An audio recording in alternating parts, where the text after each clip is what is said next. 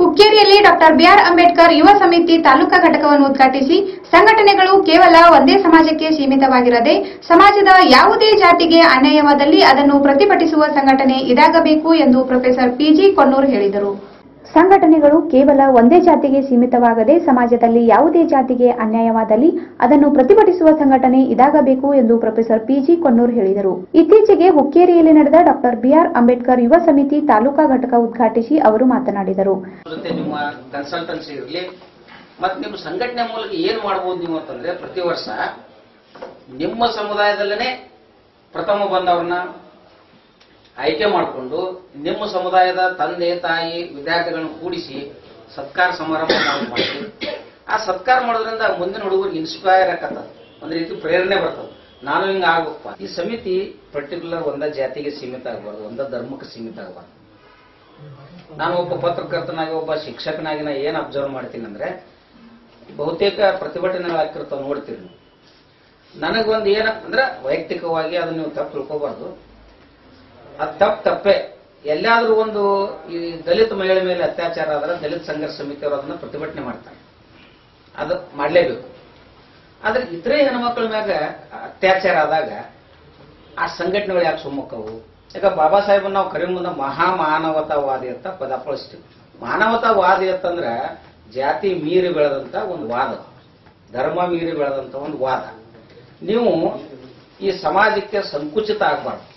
ಈ should not restrict to a particular community ಒಂದೇ ಜಾತಿಗೆ ಸೀಮಿತವಾಗಿ ಈ ಸಮಿತಿ ಅಂತ ಅನಿಸ್ಕೋಬಾರ್ದು ಅದು ಹರವನ್ನು ಪಡಿಬೇಕು. ಯಾರಿಗೆ ಅನ್ಯಾಯ ಆಗಲಿ, ಆ ಅನ್ಯಾಯದ ವಿರುದ್ಧ ಪ್ರತಿಭಟನೆ ಮಾಡ್ತಕ್ಕಂಥ ಒಂದು ನಿಮ್ಮ ಸಮಿತಿ ಮುಂದಕ್ಕೆ ಬರಬೇಕು. ಇದೊಂದು ಭಿನ್ನವಾಗಿ ಕಾಣಬೇಕು. ನಂತರ ತಾಲೂಕಾ ಸಮಾಜ ಕಲ್ಯಾಣ ಅಧಿಕಾರಿ ನಾಗ್ನೂರಿ ಮಾತನಾಡಿ, ಸಂಘಟನೆ ಹೋರಾಟ ಇವೆರಡಕ್ಕಿಂತ ಮೊದಲು ಶಿಕ್ಷಣ ಎಂದು ಬಾಬಾ ಸಾಹೇಬರು ಹಾಕಿಕೊಟ್ಟ ದಾರಿಯಲ್ಲಿ ನಾವು ಸಾಗಬೇಕಾಗಿದೆ. ಶೋಷಿತರನ್ನು ಮೇಲಕ್ಕೆತ್ತುವ ಪ್ರಯತ್ನ ಈ ಸಂಘಟನೆ ಕಾರ್ಯ ಮಾಡಬೇಕಾಗಿದೆ ಎಂದು ಅವರು ಅಭಿಪ್ರಾಯಪಟ್ಟರು. ಅಂಬೇಡ್ಕರ್ ಅವರು ಹೇಳಿದ್ದು, ಮೊದಲು ನಾವು ಶಿಕ್ಷಣದಿಂದ ಮುಂದುವರಬೇಕು. ವಿದ್ಯಾವಂತರಾಗಬೇಕು, ಎಲ್ಲರೂ ವಿದ್ಯಾವಂತರಾಗಬೇಕು. ಆ ನಂತರ ಸಂಘಟನೆ ಹೋರಾಟ. ಅವುಗಳನ್ನ ನಾವು ಮಾಡಿಕೊಂಡು ಹೋದದ್ದೇ ಆದರೆ ಈ ಈ ಒಂದು ಜಗತ್ತು ಈ ಒಂದು ಸ್ಥಾನದಲ್ಲಿ ನಾವು ಬೆಳಲಿಕ್ಕೆ ಅನುಕೂಲ ಆಗ್ತದೆ ಅನ್ನುವಂಥ ಮಾತನ್ನ ಅವ್ರು ಹೇಳಿದ್ದಾರೆ. ಆದರೆ ನಾವು ಅದನ್ನ ಯಾರೂ ಪಾಲನೆ ಮಾಡ್ತಾ ಇಲ್ಲ. ಯಾಕಂತಂದ್ರೆ ಈಗಾಗಲೇ ಸರ್ ಹೇಳಿದ್ರು ಎಲ್ಲರೂ ನಾವು ನಮ್ಮ ಬದುಕಿನಲ್ಲಿ ಸ್ವಾರ್ಥತೆಯನ್ನು ಹೆಚ್ಚು ಬೆಳೆಸಿಕೊಂಡು ಇನ್ನೊಬ್ಬರ ಕಡೆ ಗಮನ ಹರಿಸ್ತಾ ಇಲ್ಲ.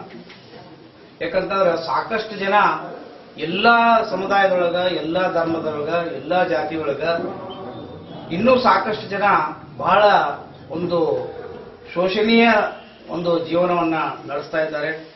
ಅವರನ್ನ ಗುರುತಿಸಿ ಮೇಲಕ್ಕೆತ್ತುವಂತ ಪ್ರಯತ್ನವನ್ನ ಯಾರೂ ನಾವು ಮಾಡ್ತಾ ಇಲ್ಲ. ಯಾರೂ ನಾವು ಮಾಡ್ತಾ ಇಲ್ಲ. ಅದಕ್ಕಾಗಿ ಅವರು ತಮ್ಮ ಜೀವನದಲ್ಲಿ ಸಾಕಷ್ಟು ಏನು ಸಮಸ್ಯೆಗಳನ್ನ ಸಾಕಷ್ಟು ಒಂದು ಅನುಭವ ಏನು ತೊಂದರೆಗಳನ್ನ ಅನುಭವಿಸ್ತಂತ ಅನುಭವಿಸ್ಕೊಳ್ತಾ ಅವ್ರ ಜೀವನ ನಡೆಸ್ತಾ ಇದ್ದಾರೆ. ನೀವು ಯುವಕರು, ಯುವಕರಂತಂದ್ರ ನೀವು ಬಹಳಷ್ಟು ಒಂದು ಹುರುಪಿನಿಂದ ಈ ಸಂಘಟನೆಯನ್ನ ಮುಂದಕ್ಕೆ ಬೆಳೆಸಿಕೊಂಡು ಈ ಒಂದು ಎಲ್ಲ ಸಮುದಾಯದಲ್ಲಿ ಯಾರು ಹಿಂದೆ, ಏನು ಶೋಷಿತರಾಗಿದಾರ ಬಹಳಷ್ಟು ಹಿಂದೆ ಉಳಿದಾರ, ಅವರನ್ನ ಮೇಲಕ್ಕೆ ತರುವಂತ ನ್ಯಾಯವಾದಿ ಕೆಪಿ ಶಿರಗಾಂವ್ಕರ್ ಸಭೆಯನ್ನುದ್ದೇಶಿಸಿ ಮಾತನಾಡಿದರು. ಯಾವಾಗ ನಮ್ಮ ಜನರಿಗೆ ಆ ಶಿಕ್ಷಣದ ಅರಿವು ಅನ್ನೋದು ಬರ್ತಾ ಇದೆಯೋ, ಅವತ್ತು ನಾವು ಜಾಗೃತಗೊಳ್ಳಬಹುದು ಅಲ್ಲಿವರೆಗೆ ನಾವು ಜಾಗೃತಗೊಳ್ಳುವುದು ಅಸಾಧ್ಯ. ಹಾಗಾದ್ರೆ ಜಾಗೃತಗೊಳ್ಳಬೇಕಾದ್ರೆ ನಮಗೆ ಬೇಕಾದಂತಹ ಮುಖ್ಯವಾದ ಅಂಶ ಶಿಕ್ಷಣ ಈ ಶಿಕ್ಷಣಕ್ಕಾಗಿ ತಮ್ಮ ಸಂವಿಧಾನದಲ್ಲಿ ಒಂದು ಮೂಲಭೂತ ಹಕ್ಕನ್ನಾಗಿಯೇ ಮಾಡಿಬಿಟ್ರು ಅವರು. ಅಂದಾಗ ಇವತ್ತಿನ ದಿವಸ ನಾವು ನೀವೆಲ್ಲರೂ ಸೇರಿ ಈ ಅಕ್ಷರದ ಮಹತ್ವವನ್ನ ಶಿಕ್ಷಿತರಾಗಿ ಉದ್ಘಾಟನಾ ಕಾರ್ಯಕ್ರಮ ಹುಕ್ಕೇರಿ ಪ್ರವಾಸಿ ಮಂದಿರದಲ್ಲಿ ದ್ವೀಪ ಪ್ರಜ್ವಲನೆಯ ಜೊತೆಗೆ ಡಾಕ್ಟರ್ ಬಾಬಾ ಸಾಹೇಬ್ ಅಂಬೇಡ್ಕರ್ ಮತ್ತು ಭಗವಾನ್ ಬುದ್ಧರ ಭಾವಮೂರ್ತಿಗಳಿಗೆ ಪೂಜೆ ಸಲ್ಲಿಸಲಾಯಿತು. ಇದೇ ಸಂದರ್ಭದಲ್ಲಿ ಹುಕ್ಕೇರಿ ತಾಲೂಕಿನ ಡಾಕ್ಟರ್ ಬಿಆರ್ ಅಂಬೇಡ್ಕರ್ ಯುವ ಸಮಿತಿ ಅಧ್ಯಕ್ಷರನ್ನಾಗಿ ಸಂದೀಪ್ ಮರಡಿ ಇವರನ್ನು ತಾಲೂಕಾ ಅಧ್ಯಕ್ಷರನ್ನಾಗಿ ನೇಮಿಸಿ ಪ್ರಮಾಣ ಪತ್ರ ವಿತರಿಸಲಾಯಿತು.